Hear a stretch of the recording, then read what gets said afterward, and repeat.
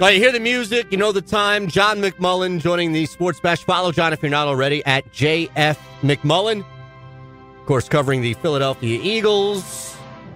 John, good afternoon, sir. I, I know that it's been a crazy week trying to come off that game and, and trying to put the pieces together of where this Philadelphia Eagles team is right now in the grand scheme of things. And we talk every day at this time trying to figure out from Monday, Tuesday. Now it's hump day in the middle of the week. So I guess technically we can turn the page. What do you get today that's different? Like like where is the story advanced with the Philadelphia Eagles in the middle of this week heading into this Monday night game from last Sunday where they beat the Giants and you know they get by and they're still alive? Is it who's coming back? Is it who's healthy? Is it can the offense remain somewhat sustainable like they were in the second half? Is it you know there's still a long ways to go with this team? Yeah, there's definitely a long way to go with this team. I don't think there's any question about that. Uh, the big news today is Nigel Bradham now has a broken thumb. So uh, he confirmed that today and had surgery Monday. Uh, had a plate inserted, six pins, uh, broke it in three places. Broke it, by the way, on the third play of the game against the Giants and played the entire game uh, with that broken thumb. So Nigel deserves credit. A very tough guy, obviously, uh, and plans to play with the injury. So he'll probably have a club on, on his hand.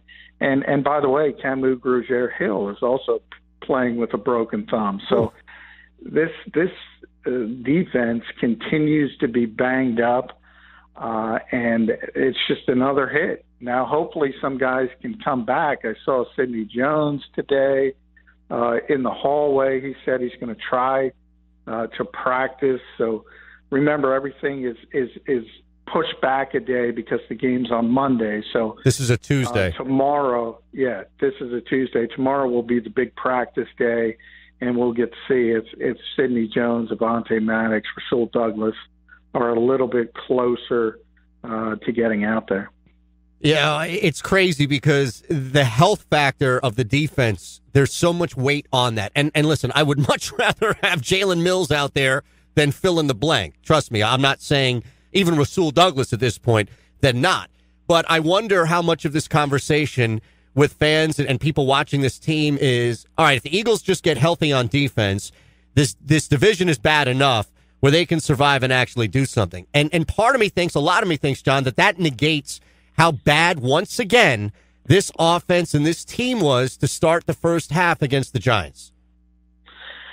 Yeah, they, I mean, they were bad every which way. I mean, you can blame it on the offense, you can blame it on the defense. It was as bad as it was against the Saints. I, I mean, the only difference uh, was the efficacy from the Giants' standpoint. They were not able uh, to turn going up and down the field with ease into actual points. They only had 19. They probably should have had 38. Right. Getting 346 yards. Uh, so uh, I, I talked about it a lot yesterday. Part of that win had to do with the fact that you're playing such a bad opponent. I think if it were the Saints again, I think the Eagles would have been run out of the building or somebody of that nature. So I, I, I don't take a lot of positives from that win. I take from that win, you had to do it to stay relevant. So it basically bought you another seven days, eight days in this case, because the game's on Monday, uh, to stay relevant. And you got to win again Monday if you want to stay relevant again. And that's what the rest of this season is going to be. It's going to be like pulling teeth. Uh, they they can't afford to lose any of the NFC East games. Uh, so that's Washington, that's Dallas, and that's Washington again in Week 17. And in between there, you got to figure out probably how to get a win mm. against two really good teams. One of those two, the Rams or the Houston Texans.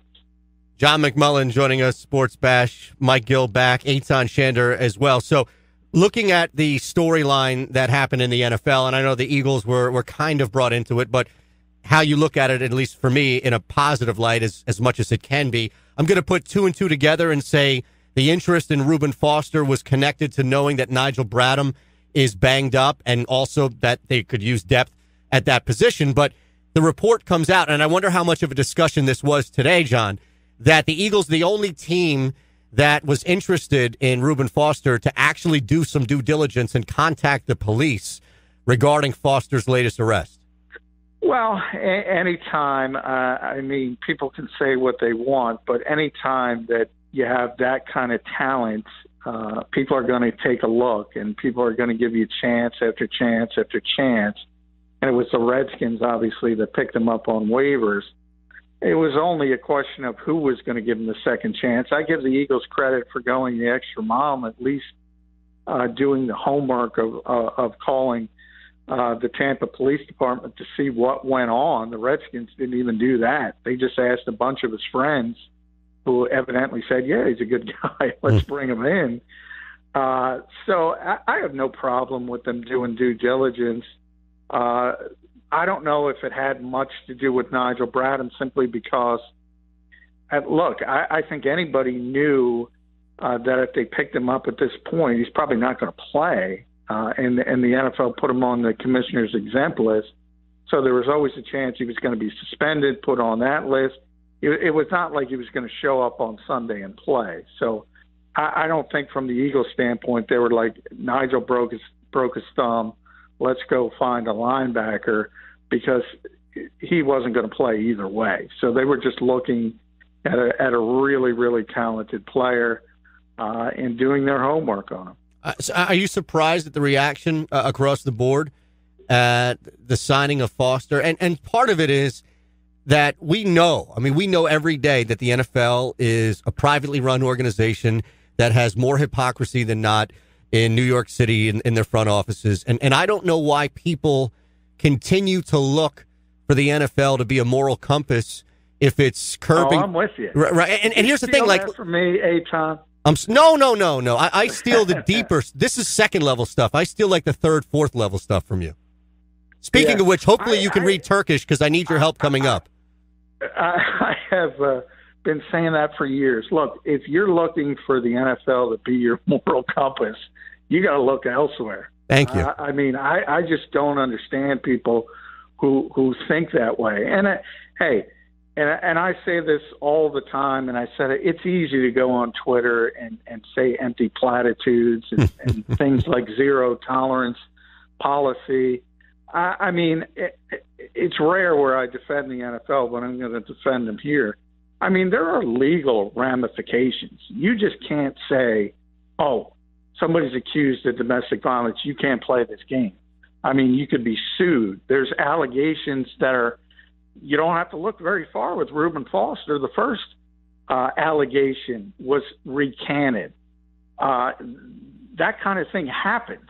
So while it's easy, as I said, to say, "Oh, you can't you can't keep somebody like that in the league," it's not as easy from a practical standpoint, where you do have lawyers and you do have agents uh, giving the player advice and saying, "Hey, this isn't fair. This guy hasn't gone through due process." So there's real world implications that go far beyond, as I said, the platitudes on Twitter. So you can say zero tolerance, zero tolerance, zero tolerance for what? Is that after due process? Is that for allegations? Because I don't think anybody wants to be at that point in life where somebody gets accused anywhere and say, "Okay, you're done." That's not the Right. way it works. No, And you, I think where the I think where the NFL has gotten in trouble is they have sort of kowtowed to this mob mentality at times. And once you do that, people understand they can push you around. it's a fine line because you still have people going out and committing acts and getting in trouble, and it being far more than a marijuana arrest or you know uh, overpaid parking tickets or things along those lines. It's serious stuff, and I think what happens is people try to untie a, a deep ball of knots with a surface string and think, okay, now now we've gotten to the root of a problem. Like, yes, personally, I believe Colin Kaepernick should be in the league a long time ago, but I don't know what social issue is solved by the NFL allowing Colin Kaepernick back. Doesn't mean I don't want him back in the NFL. I do, but I feel like there is so much energy spent on the NFL trying to set an example where even if they did with what they should be doing, curbing uh, domestic violence more and allowing somebody like Kaepernick well, yeah, in the NFL. I, I mean, we have so many it, other areas in, these, in our society yeah, where it's like, now what? Mean, if people want to say after due process, it, eh, there should be a zero tolerance sure. policy. If you're convicted, I have no problem with that. Uh, if they want to say Colin Kaepernick is blackballed, I will take issue with that from a legal standpoint. However, will I say there's undoubtedly that a lot of teams don't want to go through the headache uh, of signing him? Of course. Uh, I mean, my, my problem is everything isn't mutually exclusive.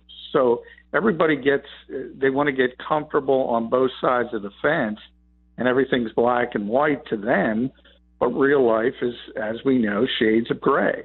Uh, and there are uh, layered issues that can't be uh, solved with 140 or 280 characters on Twitter. And this is a perfect example of I, I saw so many writers who I respect saying, "Okay, that's it. Reuben Foster can't play in the NFL." That's so easy to say, and it's also so disingenuous to not point out the contextual uh, parts of it and why the NFL can't do that uh, because it's easy. It's easy to pile on because it, it, it and it's easy to feel good to get a like on Twitter, and that's what people are shooting for. John McMullen joining us. It's the Sports Bash. Eytan Shander, Mike Gill coming back in a couple. I, I, did want to ask just something on the game too, because you and I can talk about this for hours, and it's a fascinating conversation. At least to me, it's a fascinating conversation. So, if anybody else out there disagrees, well, then you know, to hell with them. But let me ask you about the line specifically and the heavy favorites that the Eagles are. You know, they didn't cover against the Giants, and, and not to get specific into the gambling element, but just how much there is this general belief, and I don't know where it comes from, but even based on that spread, that the Eagles are a heavy favorite against Washington at home. And I, I don't see it, John. No, I, I, don't see it either. I think a lot of it has to do with the change in quarterback, and it's just natural. People assume uh, if you lose your starting quarterback, you're in, in going to be in disarray. So I think part of it is that. Is he that and much worse? If, if, Smith is consistent, I, but you know, you know what you get with Smith. Yeah, I, I mean, but he is consistent, and I, and I always say there's there's worse things uh, than being a game manager. It's almost a dirty word. People use it. Right. Uh, but one thing, Alex Smith isn't going to make explosive plays, isn't going to uh, stretch the field and, and scare the opposing defense. But he's also not going to make the game changing mistake on a negative side. Uh, and that certainly helps you, always helps you in a road environment. So I think if he's out there, the line is much less than it is. But then the second part is, yeah, people still default to the Eagles or Super Bowl champions, and they're waiting for them. Uh, they're waiting for them to flip the light switch, and that part, I just, I, I don't think it's coming. When's the uh, last uh, time? I'm sorry, John. People keep waiting for it. Yeah. When's the last time Super Bowl champion has been uttered in that locker room? Well, it, not by the media. That, yeah, player. Well, the players. Uh, I, I and I give them credit. And and Malcolm Jenkins started that. Malcolm Jenkins. They had a big Super Bowl Fifty Two logo up yeah, in the locker. He wanted that out. He, yeah, he wanted it out, and that was before the season started. Uh, so they didn't want reminders of that. So I, I don't think you know they've never crowed about that since coming back. They understood uh, you can't do that if you want to repeat, and you, you can't focus on the past. So I don't think that narrative has been driven by the players at all. I, I think it's just that people remember last season, and it's not just local people, national people as well.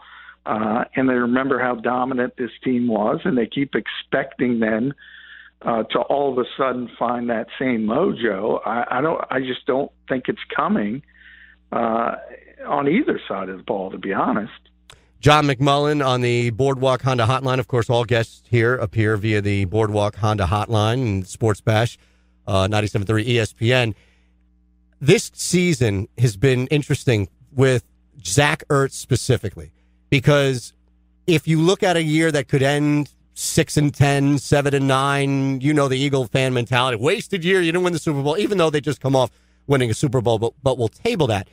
The relationship with Carson Wentz and, and Zach Ertz that's been established this year, to maximize, I should say, this year, pardon me, is, is one that I don't think we're talking about moving forward enough, which is, yes, we all expect Carson Wentz to be a top 10 quarterback in the NFL moving forward, but he has that connection. He has that best friend that even if Alshon Jeffery moves on, whatever wide receiver running back they bring in, to have that connection almost on the level in which we've seen others like, you know, Brady and Gronk, and I'm not going to go down that road. It, it, I feel like it's an under discussed storyline, John, because of how bad this team has looked. Yeah, I mean, he's having uh, a, an historic year from a number standpoint, but we always talk, and Zach's a great receiver. Uh, you can argue whether he's the best or the second best, but he's in the conversation. So, uh, I mean, he's that good at that particular position. But the other side of that coin is it, balance is when this offense is at its best. And we talked about a lot of the balance between the passing game and the running game, but also spreading the football around in the passing game. I mean, Zach has put up some ridiculous numbers, and what he does, the Eagles generally lose uh, because, and, and it's not his fault, uh, but you're you're sort of signaling signaling the biggest indication of that would be the 16 target game uh, where Zach catches 14 times. Now that's unbelievable from a fantasy fantasy football standpoint, but the Eagles lost the game. Yeah. So to me, it's better when he's catching the ball six or seven times and they're impactful in getting first downs, maybe a red zone touchdown, things of that nature, and Alshon is involved. If they can get Golden Tate involved or Nelson Agholor or even Dallas Goedert, spreading the football around is when this team is at its best, not just keep funneling the football to Zach Ertz, even though if you do, he's going to keep catching it. John, last one for you. I'm going to give you an over under 18 touches, not even carries, 18 touches. And it's not like they've thrown the ball to him, I think, four times all year. So uh, I'll say 17 carries for Josh Adams on Monday night. Over under. I'm going under because I had 15. I think 15 Ooh, okay. is going to be sort of where it, it it's going to be. Uh, I think, you know, he he got a bunch of touches late. We talked about a lot. I think six on that final drive, so that gets you from 16 to 22. So I, I you know, that's one of those things. Are the Eagles going to be up late, or are they going to be down late? And that probably defines that over under but I, I think it's going to be comfortably at 15 for the rest of the season. I think that's where those touches are going to be, and it's going to be sort of Corey Clement, or if we ever see Darren Sproles again, I saw him today, by the way. He was looking good uh, if he can get on the field. Uh, but they'll be the third down back, one of those two, and and and Josh will be the main runner. But as we've seen throughout Doug's uh, tenure, only four times as a running back hit 20 carries in his entire tenure as a head coach. So I, I don't think that's going to be consistent. At JF McMullen on Twitter. Always appreciate it, man. We'll talk tomorrow, same time, 4 o'clock. Hey, thanks, Eytan.